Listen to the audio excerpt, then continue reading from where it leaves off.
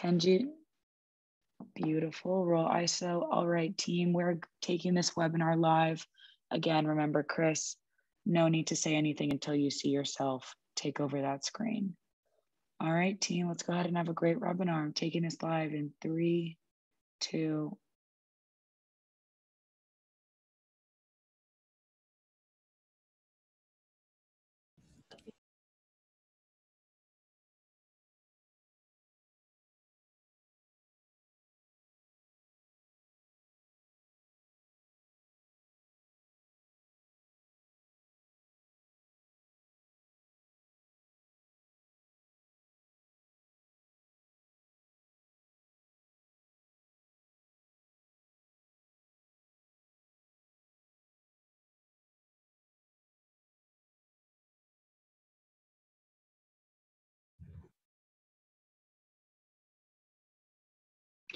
All right, good morning, everyone. My name is Chris. Uh, I'm from Searchlight Pictures, and thank you all for joining us this morning for our press conference with Ahmir Questlove Thompson in support of his upcoming film, Summer of Soul.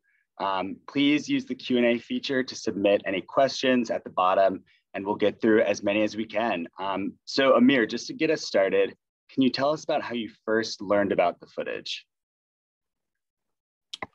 Okay, so uh, I first inadvertently saw the footage back when the Roots first went to Tokyo in 1997, and uh, my translator for that for that tour, who knew you know I was a Soul fan, um, took me to a place called the Soul Train Cafe.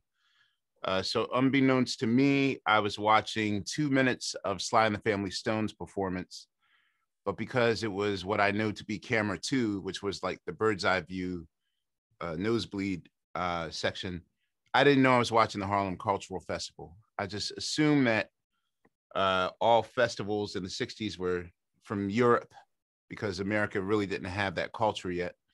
Um, only to find out exactly 20 years later when David Dinerstein and Robert Five, uh, um, told me that they had this footage and they wanted me to direct the film. So um, first seen it without knowing it in 97 and presented to me in 2017. And even then, I didn't believe it was real. Okay, uh, next up, what part of the process in making this film did you feel the greatest shift within yourself as an artist and storyteller? Was it looking through the footage, interviewing talent and festival attendees, piecing it all together, or the dialogue you've had with those who've seen your film? Um, Wait, just so I can make sure, just say the first part of the question one more time. Yeah, what part of sure. the process in making this film did you feel the greatest shift within yourself as an artist and storyteller? I got you. Um, you know, without without being all touchy feely with it, um, this project more than anything has helped me develop as a human being. Um, for all of you journalists out there, you know that sometimes artists can be really neurotic, uh, living inside our heads. And, um, you know, it's kind of weird that even though I wrote the Creative Quest book, in which I actually had to, there was one point where I caught myself like going back to, through chapters five through eight, um, mainly dealing with how creativity is transferable. Um, I will not hesitate to admit that um, of all the things that I've done creatively, this is the one that I was really, really um, nervous about. And by nervous, I mean scared. Um, partly because I'm a perfectionist. And um, what what I will say is that this film has really brought out an awareness and a confidence in me um, that I never knew that I ever had. And you know, a lot of the times, everything that I do created creatively is behind a shield, you know, behind a drum set, behind my dad, behind Black Thought, behind Jimmy, behind turntables. Um, with the exception of teaching at NYU, you guys have never like experienced me one on one. You know, I have, I have the safety of Instagram or a book. Like, there's always a barrier that gets you from getting in there, and that's sort of like how I thought I liked it. Um, so I will say that um, the amount of confidence that I got as a human being. Um, this this this was a game changer for me. Um, not saying that I'm gonna go through life like without fear and do Will Smith's uh, uh, cannon jump or something like that, but um, yeah. But on a technical side of thing, I also learned, despite this long ass answer I'm giving you, I also learned uh, the power of editing. Uh, you know, most Roots albums are these gargantuan everything but the kitchen sink. This is what I'm bringing to the table. Um, my first draft was like three hours and 35 minutes. And this is where I really learned that less is more and less is impactful. Like the three hour and 35 minute version of the film probably wouldn't have hit you in the gut more than a very succinct two hours. Sorry for that long answer. Okay, why did you choose to focus much of the film on gospel music and the faith that has been in the background, if not the foreground, of some of the performers? Um, hmm. Uh, okay, that's a weird way to look at it. Um, as far as I'm concerned, uh, there was a perfect balance um, of soul music, of free jazz, of salsa music, of the one, the one genre that I truly left out was comedy um, because it would have taken me a good 20 minutes for for me to really make sense of how the humor of the day worked for that audience, like why they were killing. Um, however, for me, um, the gospel aspect of it, I kind of seen gospel and free jazz as one and the same thing.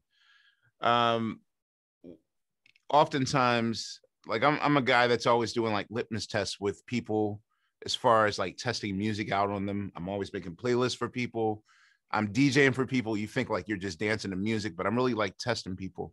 So there's no time in which I'm presenting music in which I'm not conducting an experiment. You just think that I'm DJing, or you just think that I happen to put the song on, but I'm really like looking for reactions and see what people respond to. Um, but there's one thing I always noticed uh, when I play like soul music, really intense soul music for younger people they tend to find like James Brown yelling like humorous.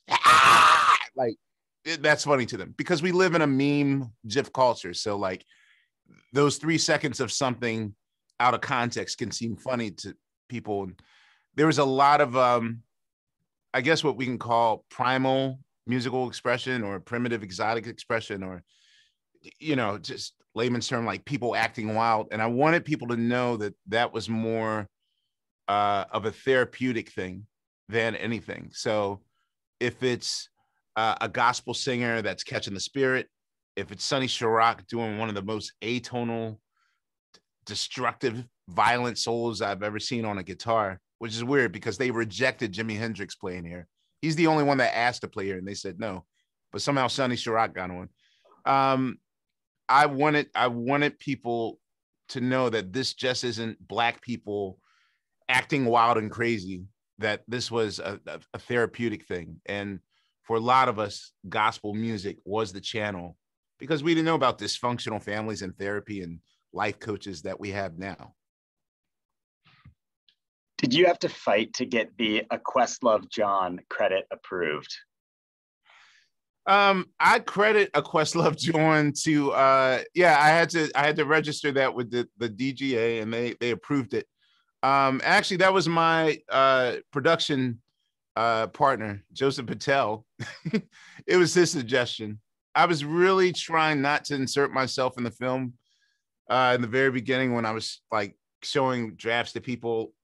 A, lot of the uh, a lot of the complaints I got was like, "Well, wait, you're not in this. Like, we need to hear your voice." And so I I begrudgingly put my vo- voice in the very beginning of the the film, asking the first question and that candid moment that I had with Musa Jackson at the end, uh, I actually, you know, we yelled cut, but I didn't realize that they kept the tape rolling. So that was an actual real conversation uh, that we were having when Musa Jackson, when I was telling Musa Jackson how like uh, that that was such a game changer, uh, ice breaking moment where you know we realized that not only is this a movie, but we got to hand him his history back to him. So um, we were just having a conversation, and the cameras happened to be uh, running, so we kept it in there. But um, yeah, I was I was I was really uh, careful not to insert myself in the story um, because I wanted this to stand on its own. And I also know that, or maybe I'm just in my head that you know, I, I guess I imagine there was a jury of people just waiting to, you know, on the sideline. So um, at the very last minute, I let a Questlove Jawn go through, and now uh, I got to wear this every day. Which of the performers in the film would you most want to have played with? Um, you know, uh, of course, the captain obvious answer is Stevie Wonder. Um, but I, I will say that uh, you know, there's 40 hours worth of performance captured. And you guys really only got to witness maybe 10 to 15% of it. Um, but as far as like musicianship and intensity, uh BB King's set was on fire. So I was like, if I were vicariously one of those drummers uh during uh the set, I would have probably really enjoyed my heart was closer with BB King set as far as just the the musicianship and whatnot. Um, so yeah, I, I enjoyed his a lot. As a DJ, you're someone who tells stories via music. Were there parallels between using those muscles mixing music and the discipline in which you approached this wealth of footage, assembling it in a way so that it tells a story and has a narrative balance? Uh, me being a DJ is, is exactly what informed me on how to tell the story. Like, you know, I remember back in school when, you know, we were learning about uh, the story arc, you know, establishing rising action, climax, falling action, ending.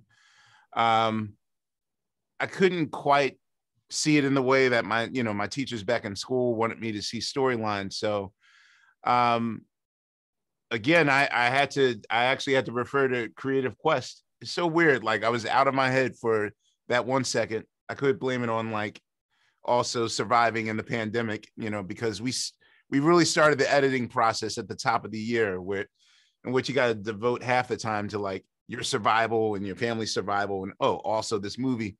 Um, so I will say that there was a point where um, I was wondering, like, could I take the same approach that I take to DJing or putting a show together with this movie? And that's exactly what I did. Um, so to start, for starters, for five months, I just kept it on 24 hour loop, no matter where I was in the house or in the world.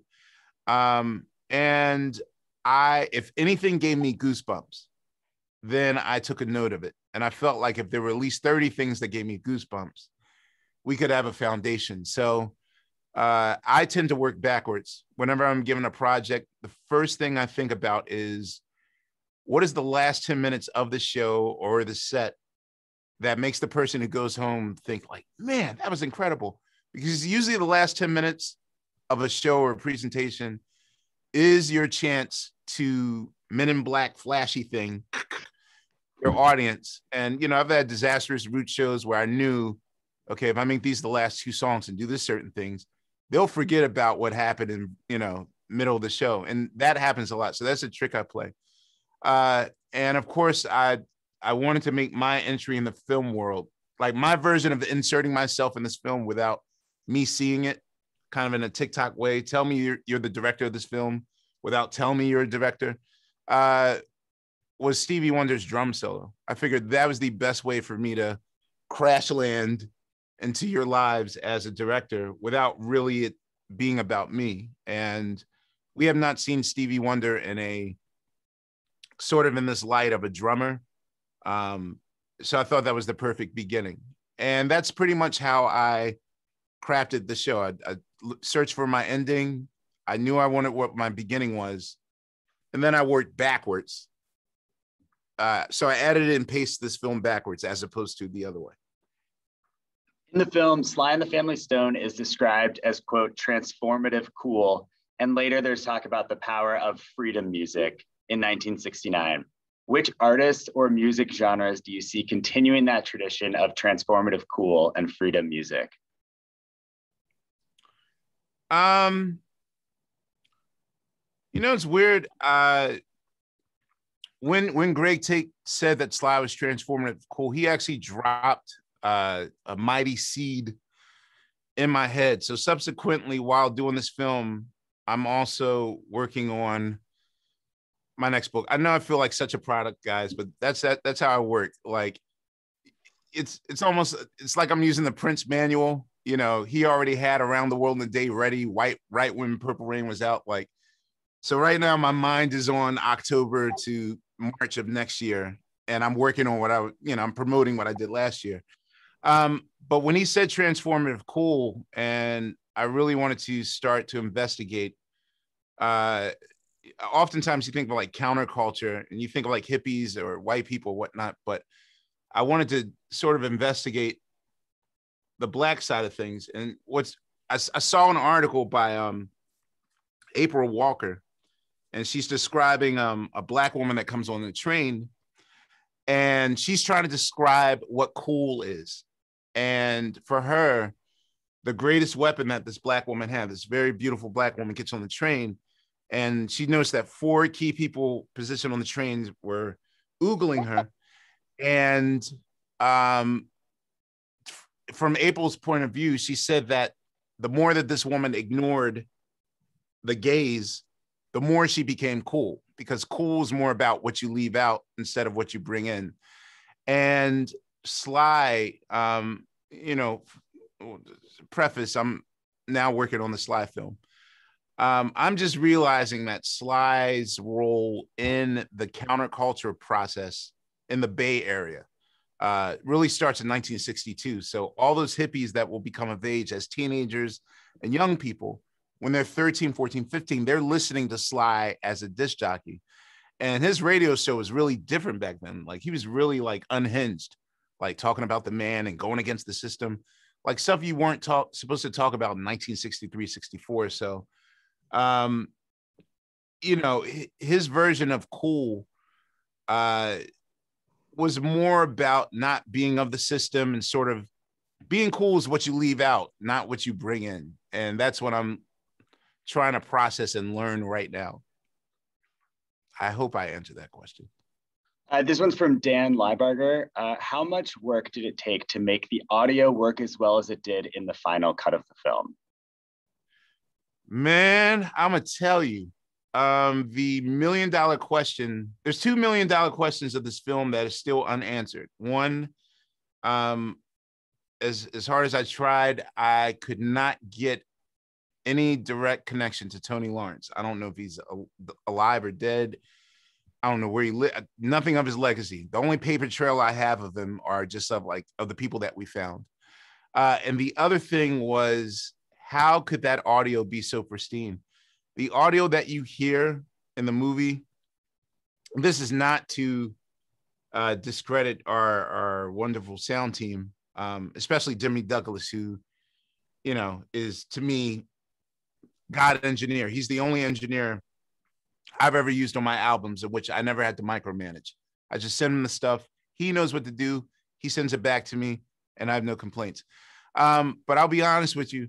Um, we had to do maybe 2% adjustment on the audio. Like the audio that you hear with the music is the, the, the dry rough mix, the soundboard, like the, the reference mix it sounded perfect. And for the life of me, I can't figure out how 12 microphones were utilized in a way so powerful, especially when like three of those, the Stevie Wonder set, three of those microphones are on his drum set that he only uses once. And the other three on his other drummers. So six microphones for two sets of drums. And then the other six, Stevie's vocal, uh, one mic for the amp for the guitar and the bass combined, and the rest are on the uh, the orchestra and I'm trying to figure out for the life of me why does it sound so crisp and pristine? And it's to the point where I'm almost tempted to strip down the roots ourselves. Uh, I called my production manager, telling them like, "Yo, they only used 12 to 15 microphones this whole production, and it sounds perfect. How many do we use? And with a straight face, he was like, "Oh, all 11 You guys use 103 mics, so 103 outlets. So, uh, yeah, I'm I'm trying to figure out if we can, if the Roots as a band can even survive with just 15 microphones. This next one is from B. Kwame. Um, you've talked a lot about erasure of Black histories through the way this footage was just disregarded, but it seems that the erasure was apparent back in 1969. Woodstock got all the press and the moon landing was huge. What are the keys to pushing back on similar erasure today and beyond? Well, you know, this this is uh, a step forward. I mean, this is the first time that I'm really seeing uh, conversations that were never had before, especially post pandemic. We weren't talking about mental health for Black people. And we were, we really weren't speaking of Black erasure. Um, of course, you know, previously before years before we we sort of coded it as like cultural appropriation which was like a really politically correct way of saying that. Um in the 80s we would just say like yo man why you always bite my shit? or whatever like it was always sort of draped in in slang so that you couldn't see the the the, the heart or the sincerity of what the problem was. And you know be it be it TikTok content or be it a festival. I know this one thing. Um, this isn't the only story out there. Uh, probably the most shocking thing that I've I've learned in the last month, like in the last three to four weeks, um, I've gotten DMs from you know professors at university letting me know that blah blah blah blah blah shot uh, concert footage for 20 hours for something that they did over in New York, and then there's a da da da festival, like, and all all this. So this isn't the only footage that's just laying around um, unscathed. There's about six to seven others. Um, so, you know, perhaps maybe this film can be uh, an entry, a, a, a, a sort of a sea change for these stories to finally get out. And but really for us to acknowledge that, yes, even something as minuscule as content uh, on social media or uh, a, a, a giant, one of the first ever like black festivals is important to our history. So you know the conversation is being had now normally it's it's you know the the process is that we talk about it for three months and then we forget about it. So um that'll remain to be seen. But i know as for me um i i didn't come into this wanting to be a director or any of those things. Um i do believe that again creativity is transferable. So um this is not my last rodeo with telling our stories. If anything i'm more obsessed now than ever to make sure that history is correct so that we don't forget who this artist is or that event is. This one's from Peter Gray. Do you think something like the Harlem Cultural Festival could be could be or would be put together today? Um yeah. You know, not to toot my own horn. I mean, right now festivals are are all the rage. So you know, um, I can say the the Roots Picnic is sort of in the vein of the the Harlem Cultural Festival. Um, in the DMV area, the the Broccoli Festival, that's probably the bell of the ball right now. Um, the Broccoli Festival in DC, um, their their festival is is very similar to that. So we're starting to see um, sort of regional local festivals on this level happen now. Like in the last five years, there's another festival that we do in Alabama. Um, I, my my mind's drawing a blank right now, but yes, I I do believe that you know America is is catching up with festival culture. Like the the prime reason why the Roots had to pull a Hendrix and move to Europe. We moved to Europe uh, in in the UK. We lived there from '93 to about '97. Um, was basically because you know over in Europe there were over 700 festivals to choose from, and we figured as a band um, living in a country in which being a band was like a, a, a, rare thing at the time we were like one of seven groups with a record deal um, right now it's you know i think with the major record deal it's like what migos and the roots as far as non-solo acts or i mean even groups i'm not even talking about a band but just people collaborating that like that's a rare thing so we had to move to europe for four years um, because we knew that festival culture was a thing in Europe. So, in moving back to the United States, the first thing we said was, you know, if we have to show the world what we learned, what is that thing? So that's why we wanted to do the Roots Picnic to let people, you know, in our town know, like, this is how it is over there. So, you know, now now festivals are are kind of a thing. From Lamar Stevens, what format was the festival recorded on? And can you describe the storage environment where the film was actually stored? And then were you ultimately surprised that the film had not decayed over that time? Okay, so um, the it was it was really forward thinking. Now, normally in 1969, if you're going to document something, chances are you're going to use 16 millimeter um, it was Hal Tulchin's idea to film this on video because it's for television. So the quality looks like that of uh, soap opera, like that sort of videotape, which was brand new at the time. Of course, you know, in the 80s, the mini cam is, you know, became the norm. Um, but back then, it was two inch reels, but man, these reels were so heavy. The reels could hold about an hour worth of footage. And I'll say that one one of those uh, uh, canisters had to have been about 17 pounds. So even when we show like that scene at the very end where we had to show like all the tapes piled onto each other, uh, yeah, that was that was a damn workout. You know, that was like lifting lifting boxes back and forth, and you had to be very careful.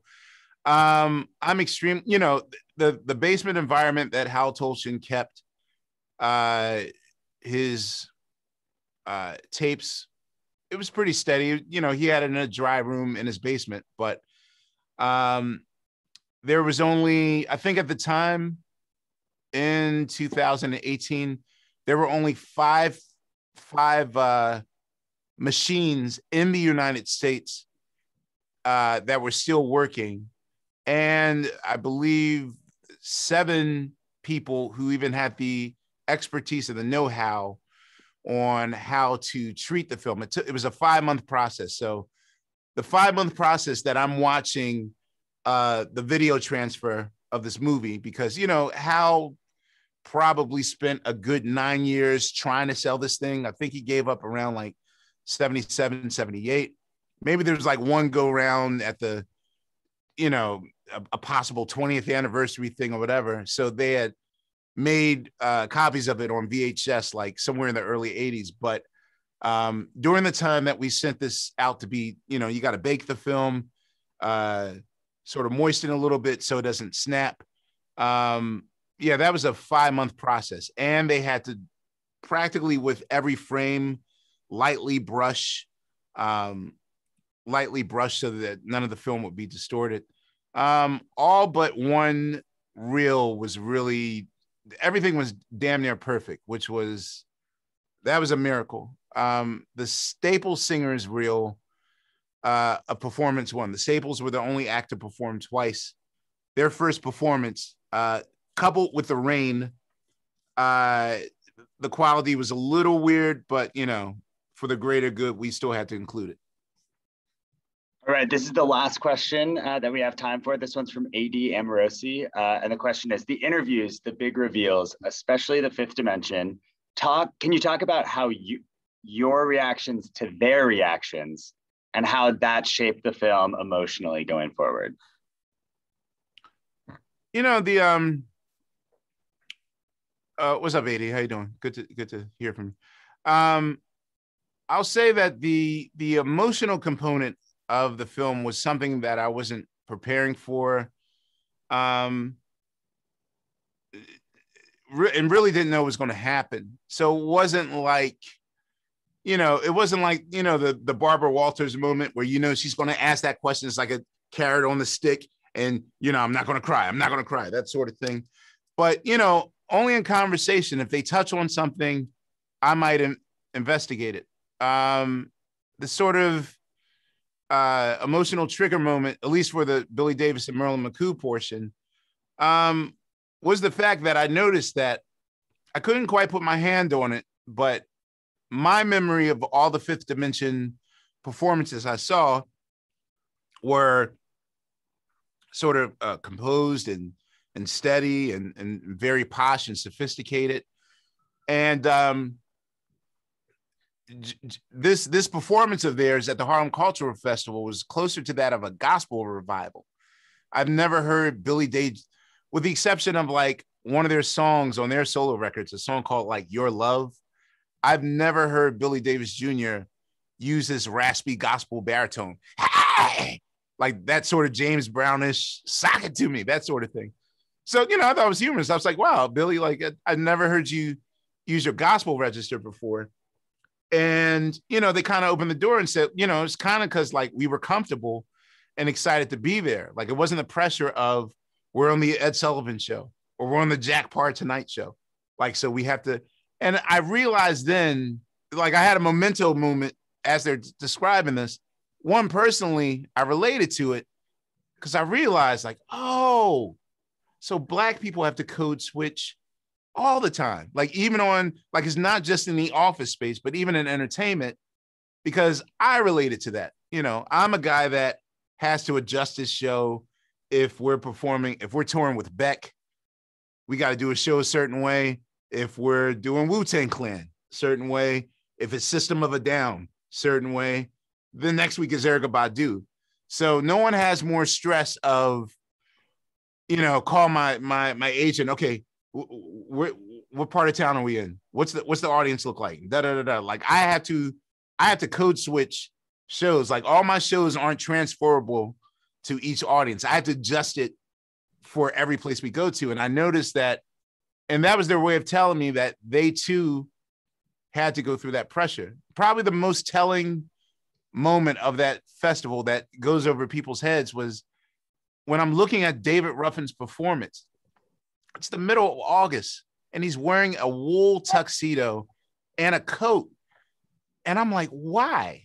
And it hit me that you have to be back then you had to be professional even the, to the detriment of your own comfort meanwhile the most revolutionary performance to that audience nothing will beat watching camera four of the sly and the family stone performance when all the kids are losing their minds it would be like if i were to take my nieces and nephews or like kids today uh if i'm at a migos concert and as a 50 year old i'm kind of like eh, they're not Wu Tang Clan, but they're all right. And watching kids go crazy. That's what adults were doing to Sly and the Family Stone. Like they'd never seen a black act not wear tuxedo. They were wearing their regular clothes. Not to mention the intersectional and all that other stuff uh, with the group that they never seen before. But um, you know, in opening that door, also with Musa Jackson, um, he was five years old at the time, and uh, I was a little bit, I was like, mm, what, what five year old's going to give me insight of the emotional deepness of being there when he's five years old? And he, his, the thing that won us over was like, he's like, this is my first memory ever. But he wasn't sure he had it. So we purposely didn't show him any footage. We took all the photos down. Like none of, he saw none of this stuff for references. He just came into a dry room.